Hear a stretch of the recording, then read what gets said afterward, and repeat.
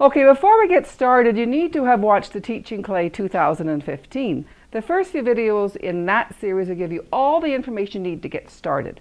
So now you have the information you need. Let's get started. We're going to build an Alberta crest. To build the crest, you need the supplies mentioned in, in the introduction. You need your water and your toothpicks. You need papers, but you need more than just a few papers. You need five or six papers, and these are just the papers um, from the washroom by the sink. These are your regular school papers. You need a bunch of those, like I said, five or six. You need clay, but the crest takes a lot of clay, more clay than your normal project. So when you're dividing your clay, like I showed you in the introduction, you went down the middle of the box half and then two and two. Make it three or three and a half inch uh, block. You need a big block of clay. So we've got our regular supplies. We've got our water, our toothpicks, our paper, and our clay hiding in the cloth, staying nice and soft and ready to go. But we also need a ruler. The students need to have their ruler from their desk. Now this is just a regular ruler. This one's a bit longer. It doesn't matter. A ruler is a ruler by any other name. So we need the ruler and we need the template. The template can be found online by following the link in this video. And everybody needs their own template, but it's a good idea to have more than one template per student. There's always someone who's going to need an extra template, so have a few extra handy. So now we have all our supplies, we have our information, let's build our Alberta crest. Now to build our crest, we're going to need a large pancake. And we have this big piece of clay that's waiting in the cloth to be our large pancake. We're going to roll it on the table, and it just has to be tidy. When I'm rolling, the clay has to go all the way around, all the way around. You can use your hands, whatever works for you, but you're going to roll on the table. And when you have a tidy ball, not perfectly round, you're going to put it on the paper. But you're going to put it on two pieces of paper. You're going to open this up, one piece of paper, and then another piece of paper. So there's two layers of paper between your clay and the table. And now we're going to tap it into a pancake and make a fist. You're going to tap and turn, tap and turn, tap and turn, tap the clay, turn the clay, tap and turn. Now I like to go all the way around this way. Some people like to go from one side across. Other people like to think about a pizza and follow the slices out from the middle. It doesn't matter how you keep tapping your pancake, but it's going to start to flatten out and get fairly large. You're going to want to just uh, take this paper off. As you can see, it starts to disintegrate or, or eat up the paper, you can turn it over and continue working. Tap and turn, tap and turn, tap and turn. Now you want to make this pancake big enough to hold your crest and as thick as a finger. So I'm going to just keep tapping and tapping. And if you have a problem getting it that big, you can always hand out more clay or you can see here, I've got clay up here that doesn't need to be a part of the crest. I can cut this off with a standing up toothpick holding it short to the tip and just take this off of here and I'm going to put it on here. I don't have to wet and wiggle. I can just overlap it and tap it on. So you can see I kind of kind of like robbed from Peter to pay Paul, but I've got enough clay here now and I want to cut it out tidy. Whoop, I'm going to get another piece of paper. That's why you need lots of papers. This clay really goes through the paper. So I'm going to put another two layers of paper on there. So as your students need paper, just go ahead and give it to them. Now you put your ruler on your template, again with your toothpick standing up with your finger short. If you hold it in the middle, chances are it will break. If it does break, it doesn't matter, it's just a toothpick. Going to gently follow along these and keep your ruler on the paper side. If you do it on the other side, quite often you'll rip the paper. I'm just going to cut this out and go along here.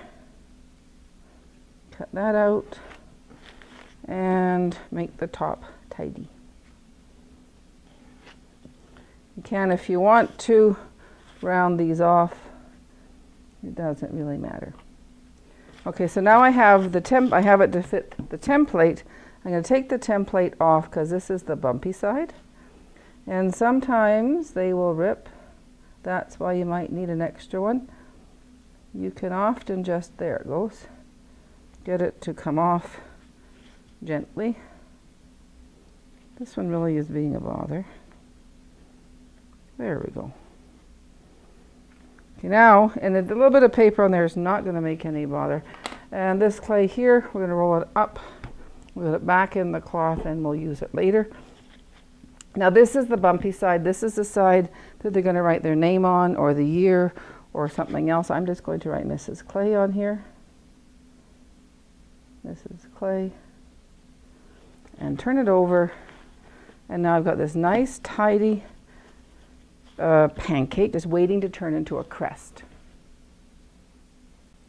Okay, we're ready now to start building the crest, but before we start building the crest, we have to put some guidelines on there. I'm going to put our template back on, and we're going to make guidelines so we can build the cross, the mountains, and the, and the fields of wheat. With my toothpick, I'm just going to mark where this line is going to be. So I'm going to mark a line. I'm going to, this line is one, two, three, skip a line, four. Do that again. One, two, three, skip a line, four. Now I know where these lines are going to go. If I connect the dots, I'm going to have these lines, but I also have to show where the cross is going to go. So I'm going to go one, two, three, four. I'm going to take the template off again. And now I have these lines here. I can just with my ruler connect the dots. But before I do that, I'm going to talk about lazy laying down toothpicks. We have our um, crest here just waiting to have its guidelines. And you're going to have to do what I call lazy laying down toothpicks. When toothpicks do guidelines, they're very lazy. They like to lay down. You can see I'm just holding it flat and just kind of just making a gentle line. Because if you start making these guidelines through the, on the clay with like a standing up slicing toothpick, the same way you cut it out, you're going to really have a problem. And if you start cutting out your cross and you do your guidelines that way, it's not going to work very well at all. So we're going to do lazy laying down lines, light, lovely, lazy laying down lines. And I'm going to put the ruler on there and just very lightly, I call it petting kittens light. put it on there and just do lazy lines. And another lazy laying down line. These are guidelines. And then the last one, I'm going to, the last this way, do that way, and then the cross goes here. Just join that dot to that dot, and that dot to that dot. And now you can see I'm going to put my cross, my mountains, and my wheat. So there we go. I'm going to start building the crest at the top and work my way down. The top of the crest you can see is King George's cross. I'm going to move this out of the way and with the clay that's hiding in my cloth, I'm going to nip off a piece of clay, what I call about okay big, or about, about this big. A little bit bigger is better than smaller. And we're going to roll out a coil. Now to roll a coil, your hand is big and flat and open. You can just roll away from you, pick it up and bring it back. You can roll it back and forth. It's a gentle roll. If it's going flat, flat, flat, you're pushing too hard, relax. You're playing in the clay.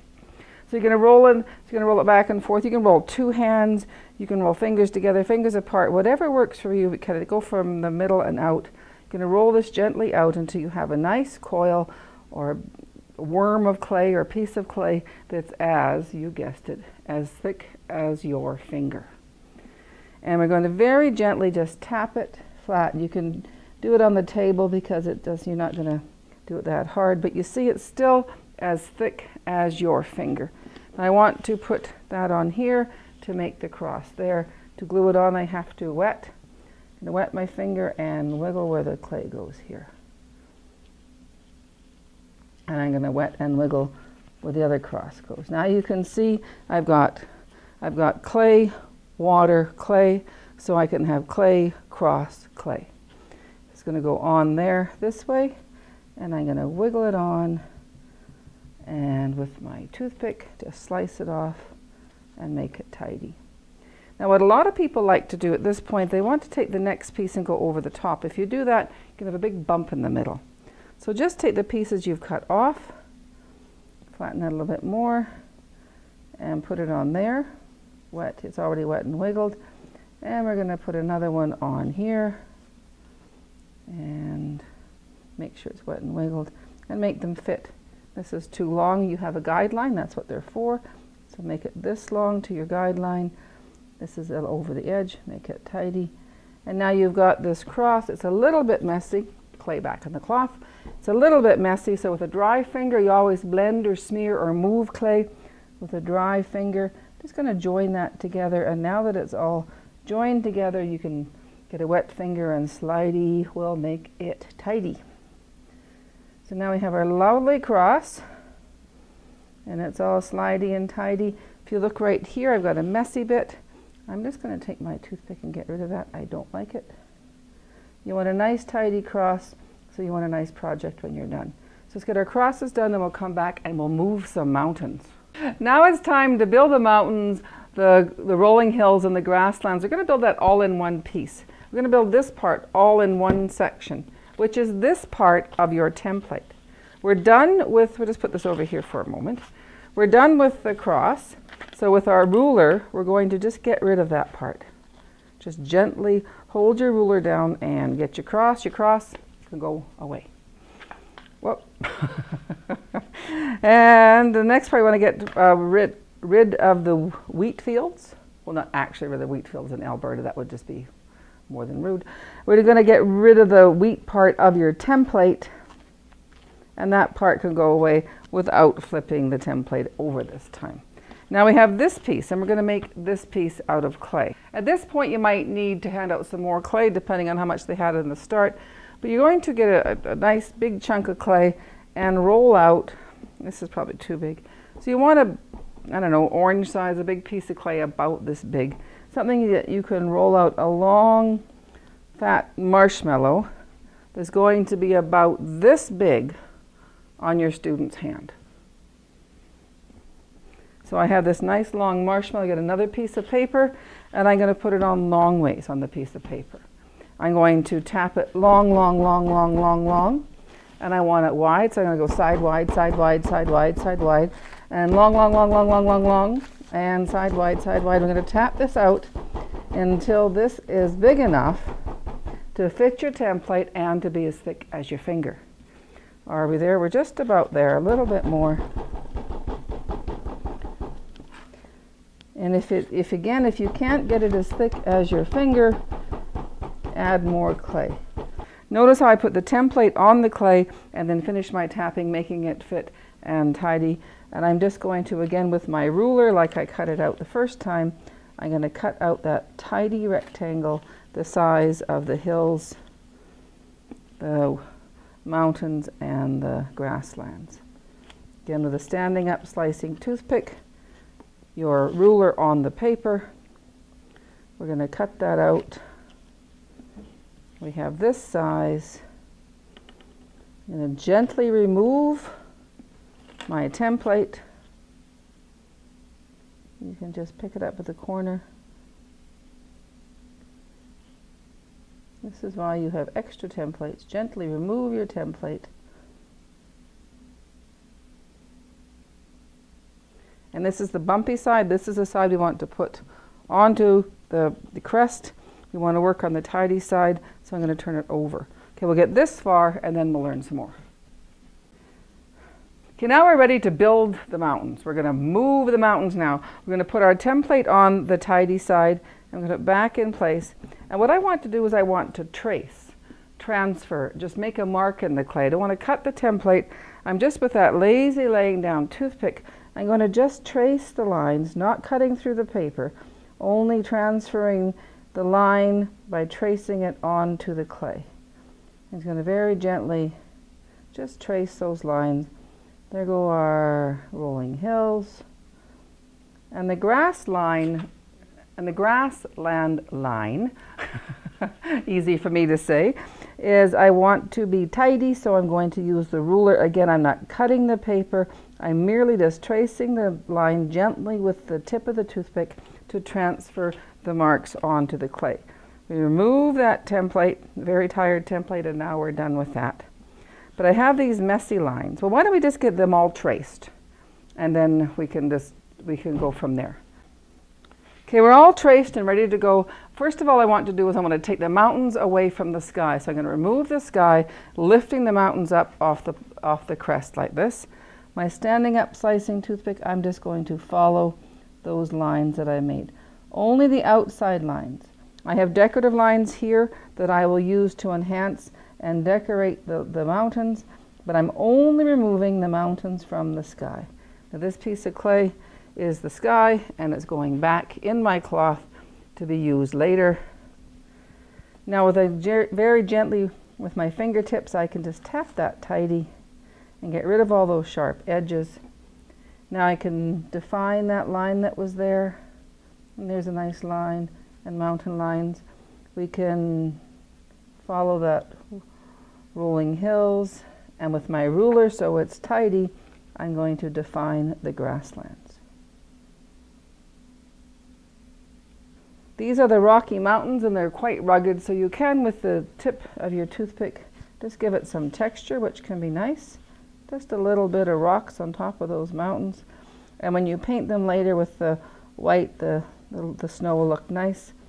Uh, so we have our mountains and our rolling hills can be just as they are just defining and making those lines nice. And I want to do some, uh, the grasslands. Now in your plaque there are nine individual pieces of grasslands. Um, you can do the nine individual pieces or you can just do a few. It's up to you and it's up to your teacher how close to the plaque you want to follow. I'm going to do just a few. I'm going to do some wet and wiggle on here. Now you can with the grass, you can just scratch it on but I kind of like to make it textural.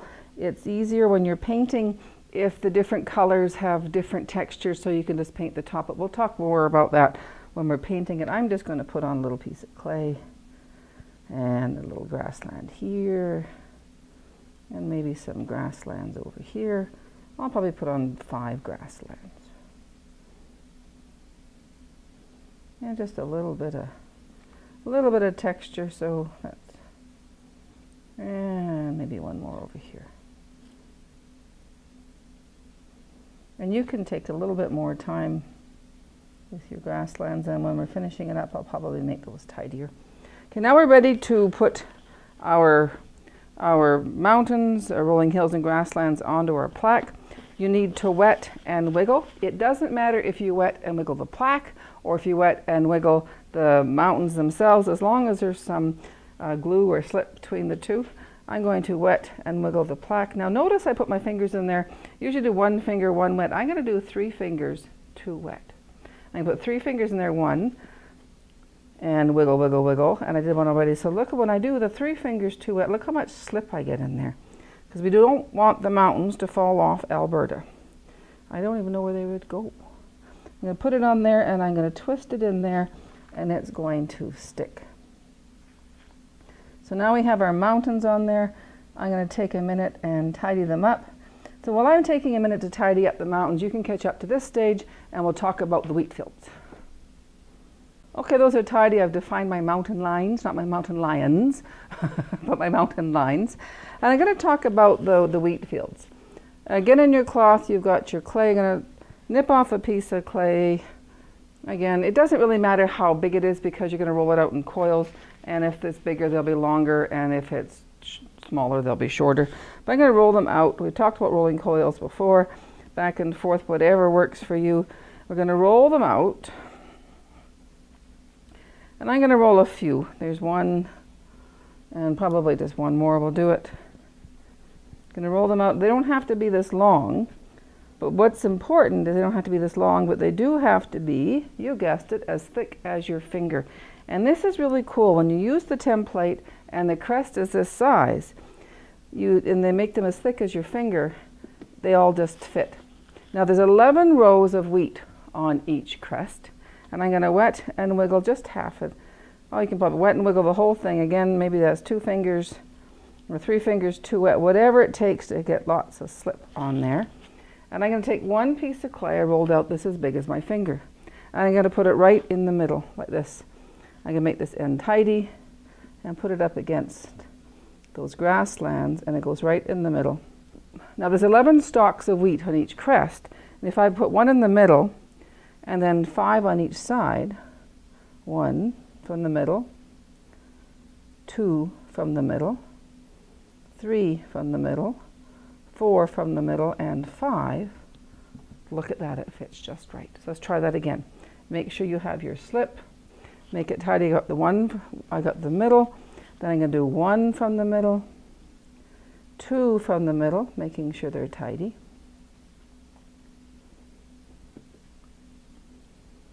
Three from the middle, four from the middle, and five. It just works out. what I'm going to do is I'm going to make them tidy on the end and then everyone's going to get their, I call them wheat worms on, and the wheat worms will be tidy on the bottom, and we'll come back and we'll define the wheat on the worms. Okay, we've got all our, our wheat worms wetty, and we're going to tidy them. I'm going to put the wheat texture on there, and I find it easier to all go one way. You see that the, make these little V's on here, but if you do one side,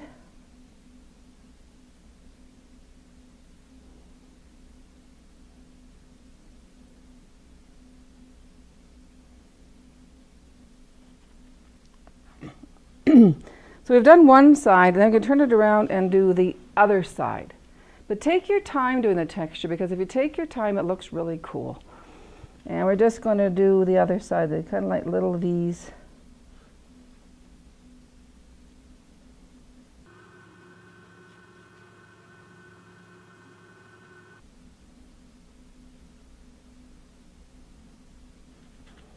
There, so our we now have wheat these, very nice wheat these. Now we're done building the crest. I just want to take a minute and give it a, a little project check and make it tidy. I see here it's messy where I cut that off. I'm just going to, with my toothpick, get rid of that messy bit. It's kind of messy here. We don't want a messy sky. I don't like this line here. You can tell it's kind of not defined. A little bit of mess. The more time you take to make it tidy, the nicer project you will have. Now that's pretty good. I'm going to make it square again because as in building it kind of lost its perfect little lines. Just take your ruler and square it up.